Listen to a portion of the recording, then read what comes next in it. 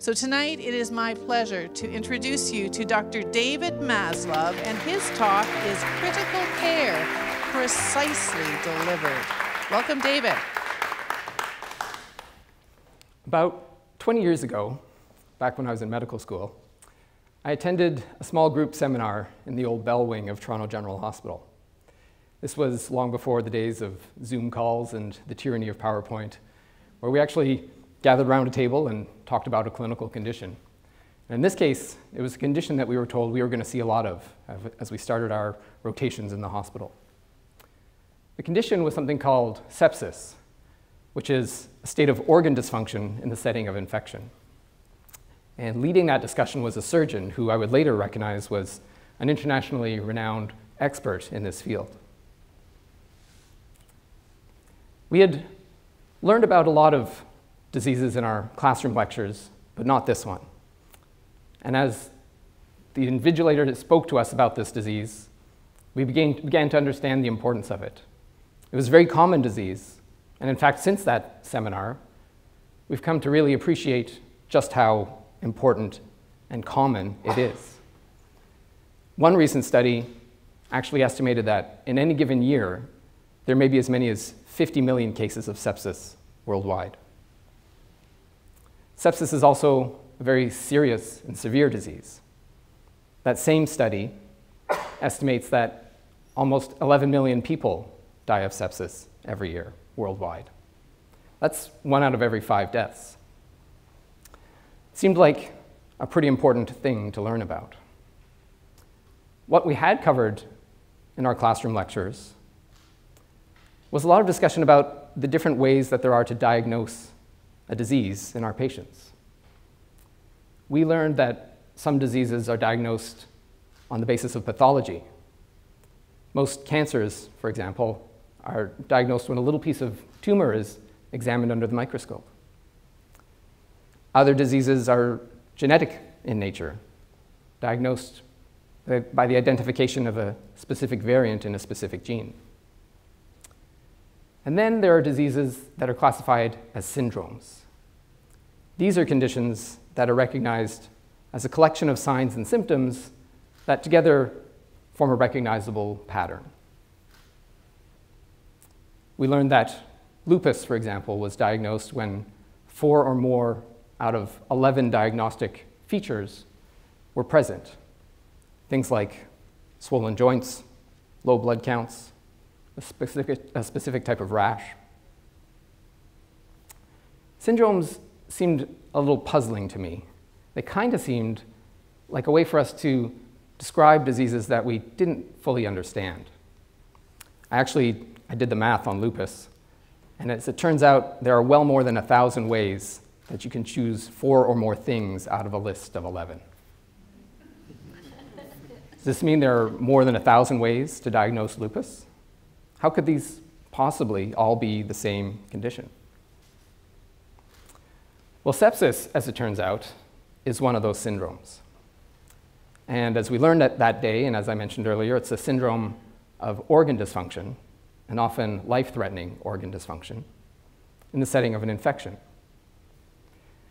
To me, this sort of mirrored the messiness of lupus. I mean, there were so many different types of infection and so many different types of organ dysfunction. How could all of these be manifestations of the same disease? The situation only got murkier for me when we started talking about how sepsis gets diagnosed for a patient.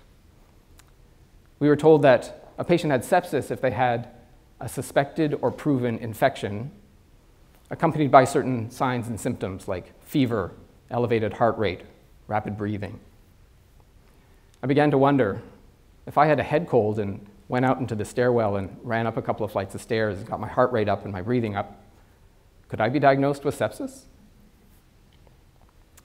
I really became quite interested in the whole concept of diagnosis and in why it's so important to get that piece right. A diagnosis offers a lot of things to a patient. It can normalize and give a name to their suffering. It can provide a prognosis and a sense of things to come. But perhaps most important, diagnosis dictates treatment. getting the diagnosis right, and as precise as possible is therefore a critical early step on a patient's journey. One field seemed to me to have all of this nicely sorted out. Hematology, which is the study of blood disorders, was right around this time beginning to appreciate how a lot of those disorders were caused by abnormal genes and abnormal chromosomes. Chronic myeloid leukemia, for example, is said to occur when a little piece of chromosome 9 trades places with a little piece of chromosome 22, creating a sort of Frankenstein chromosome. And that Frankenstein chromosome leads to the production of a Frankenstein protein, which is at the root of the manifestations of the disease itself. So hematologists went from looking down a microscope at abnormal blood cells to diagnose chronic myeloid leukemia to instead looking for that Frankenstein chromosome itself, an approach that was much more direct and much more precise. In fact, the year after I started medical school, the FDA approved a new medication, a drug called imatinib, that was designed to treat chronic myeloid leukemia. It was designed to specifically target that Frankenstein protein. So precision in diagnosis was here met with precision in treatment. And for many patients, chronic myeloid leukemia was all but cured. A couple of years later, as I was completing my residency in internal medicine, I had the opportunity to further specialize. And I spent a lot of time thinking about what field I wanted to work in. I really liked hematology. That field had momentum. It seemed like just a matter of time before all of the Frankenstein chromosomes were identified and all of the corresponding treatments were developed. But my mind kept wandering back to sepsis, that messier concept that I'd heard about in that seminar a few years earlier at Toronto General. This seemed to me like a wide open field. Sure, we had a good understanding of what sepsis was, but we didn't really have any effective treatments for it. In fact, more than 100 clinical trials had been done, and from that, we didn't even have a single therapy that had stood the test of time in providing durable and lasting benefits for patients with sepsis. Because these patients can often be very sick, they're often cared for in an ICU. And so, wanting to learn more about how to care for these patients, I went off to the ICU to pursue a fellowship in critical care medicine.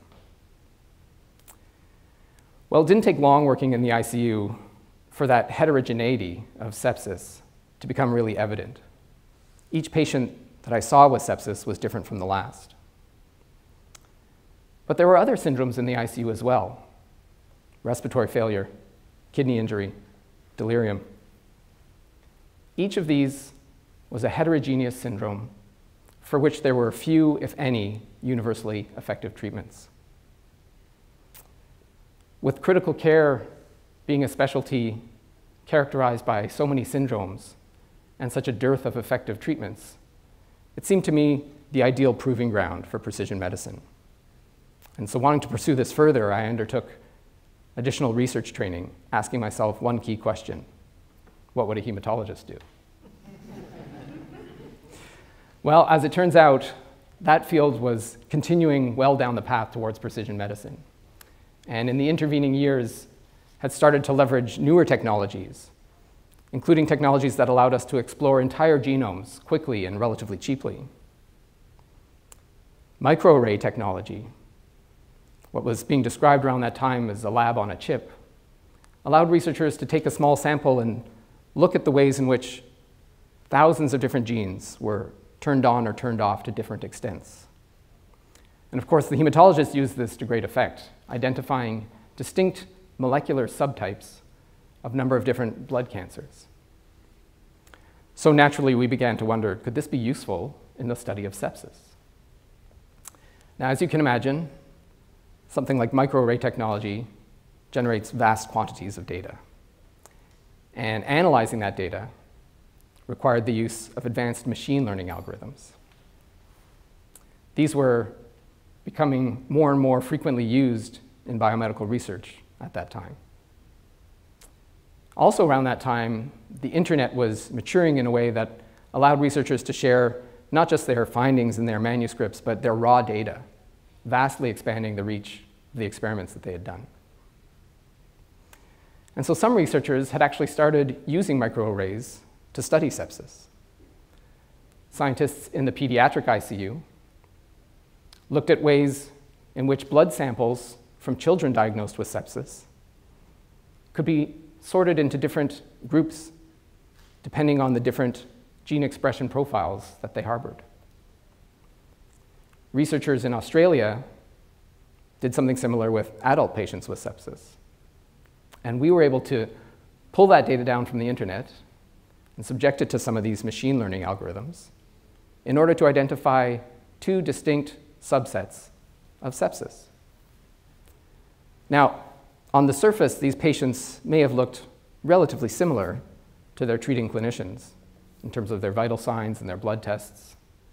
But delving further down to the level of the genome, we noted important differences in how their genes were being expressed including differences that might be important for treatment.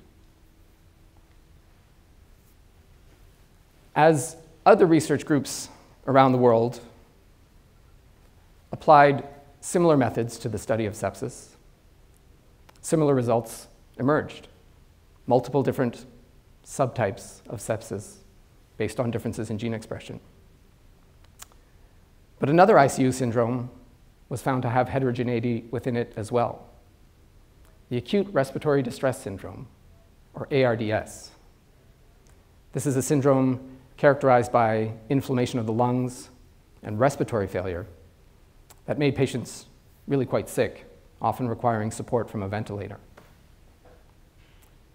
There was a lot of enthusiasm in the critical care community for this new line of research and, and, and a groundswell of interest.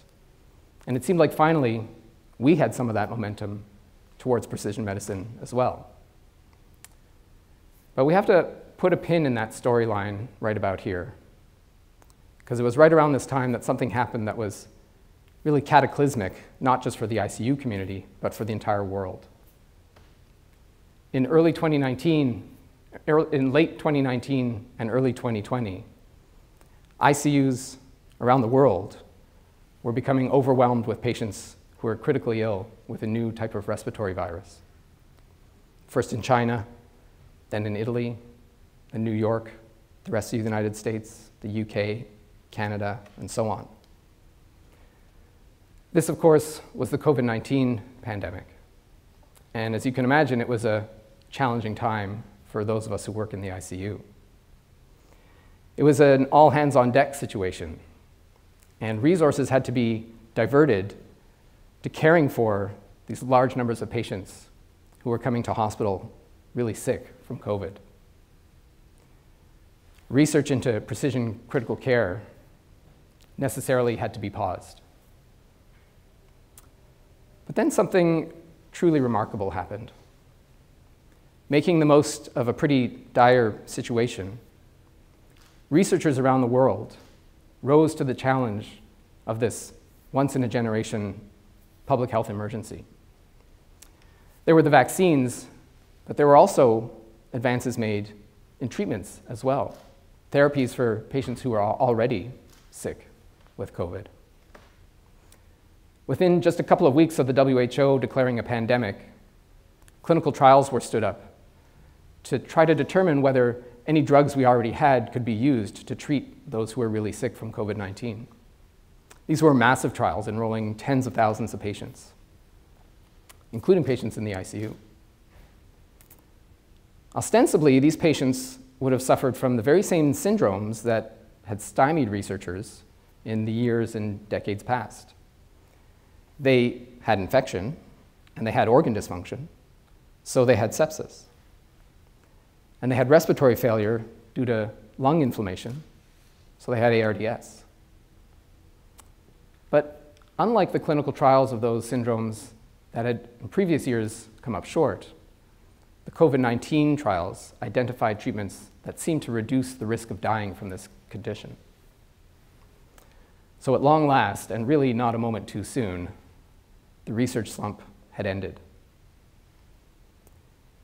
There are a lot of lessons to be learned from research done during the pandemic, most of which we're still unpacking. One thing that seems pretty certain is that rapid and meaningful progress requires collaboration. Collaboration between researchers and research coordinators and the patients and their families who are being enrolled into trials. And collaboration between researchers and the clinicians looking after these patients but also collaboration amongst clinicians, nurses, doctors, respiratory therapists, physiotherapists, pharmacists, and so many more of the healthcare team that contributes to the care of these patients. And collaboration with hospitals, health authorities, regulatory agencies, drug companies. We also learned that collaboration across institutions and even across borders was also really important. But there's another takeaway lesson, which is that maybe these trials generated actionable results because we were looking at a specific disease state rather than a vague syndrome. Think of it the studies of sepsis done previously would have enrolled patients who had infection in the abdomen, or infection in the kidney, or infection in the skin, whereas the COVID 19 studies enrolled patients who overwhelmingly had infection in the lungs. And older studies would have looked at infection due to staphylococcus, or infection due to streptococcus, or E. coli, or influenza. The COVID trials enrolled patients who all had infection due to the SARS CoV 2 virus. So maybe, just maybe, we had a specific disease state being studied rather than a vague syndrome. And maybe that's what allowed us to uncover the true effect of these treatments. Now that that flurry of pandemic research is behind us, we're working on picking up that thread in the storyline right where we had left off. Only this time, with the benefit of lessons learned from the pandemic. We're working on identifying differences on a cellular level of patients with sepsis so that we can prioritize treatments that we think they're most likely to benefit from, while deprioritizing or even avoiding the treatments that are likely to be ineffective or even harmful. This is a daunting task, and it's work that we're going to be at not for the next couple of years, but for the next couple of decades. But it's work that may prove to be transformative, and the ICU of the future may be a vastly different place. In many ways, we already provide precision care in the ICU. We suspect that patients may differ on the basis of their biology, but we know that they differ in the ways in which they experience their illness. Every patient is unique, and we're mindful of this and how we address their concerns and the concerns of their loved ones, and how we communicate with them, and in how we set priorities and expectations. Over the last few years, I've had the tremendous honor and incredible privilege of working with some truly outstanding ICU researchers, including that surgeon who first introduced me to the concept of sepsis so many years ago in Toronto General, and the group in Australia that generated that really early microarray data from patients with sepsis. I've been buoyed by the sense of shared purpose and collaboration that makes this sort of work possible. It's really a heartening thought. Achieving precision in diagnosis and precision in treatment in the ICU is not going to be easy. But knowing that we already provide precision care, treating each patient as an individual, makes that ultimate goal seem that much more achievable. Thank you.